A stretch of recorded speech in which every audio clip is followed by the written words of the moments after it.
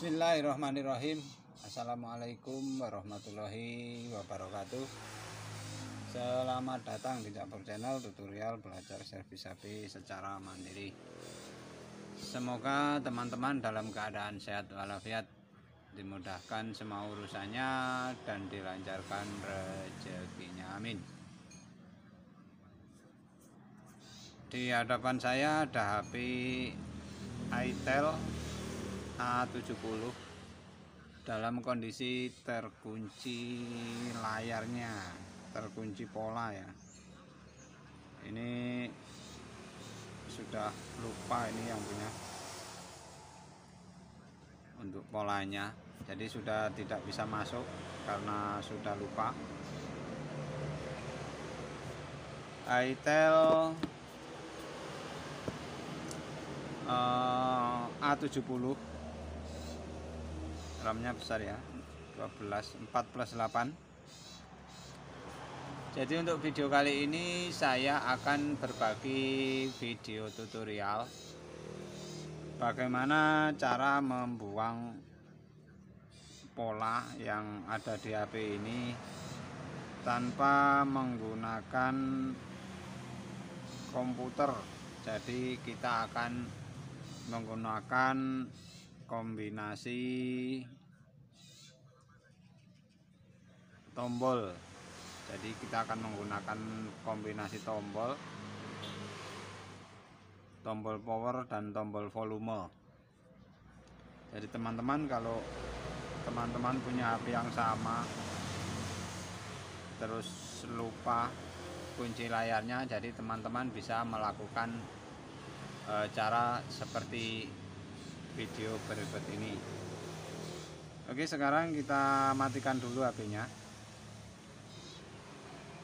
kita matikan sampai benar-benar mati.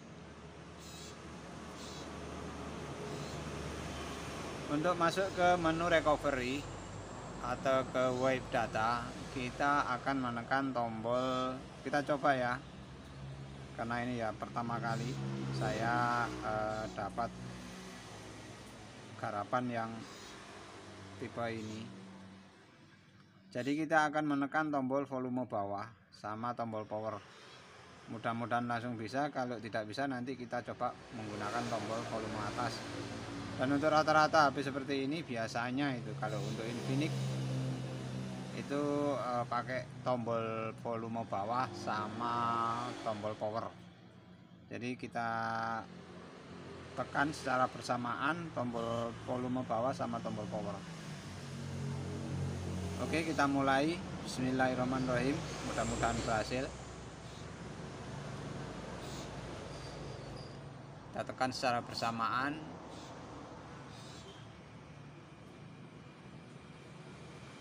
Mungkin agak lama ya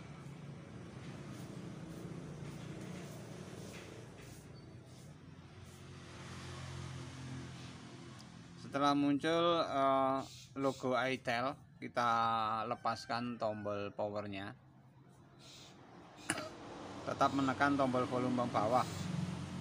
Jadi kalau sudah muncul uh, logo itel kita lepas tombol powernya.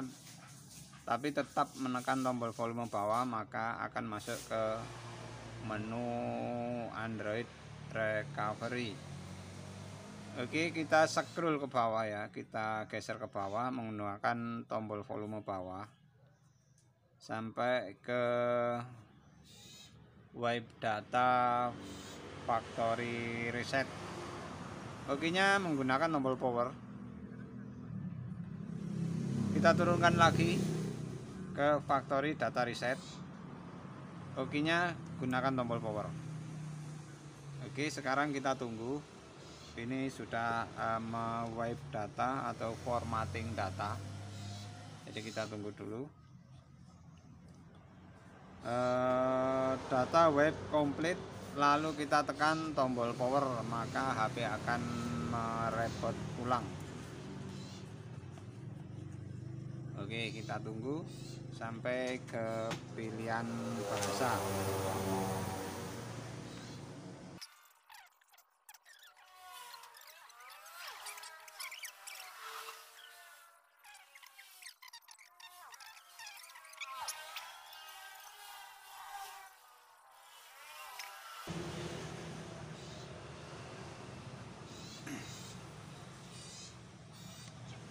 Oke, sekarang kita akan men-setup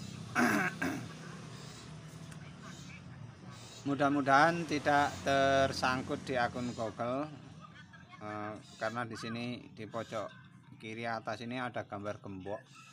Biasanya kalau muncul gambar gembok itu meminta akun Google dan mudah-mudahan orangnya ingat akun Google-nya. Kalau tidak ingat ya nanti kita coba untuk membypass. Oke, kita pilih bahasa Indonesia. Oke, berikutnya lewati saja.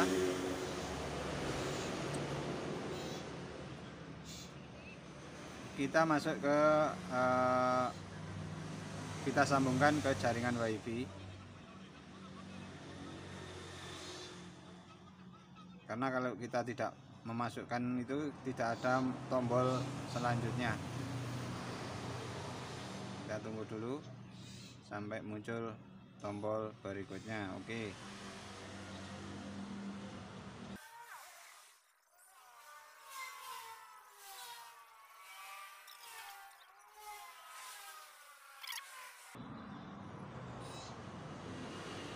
Nah di sini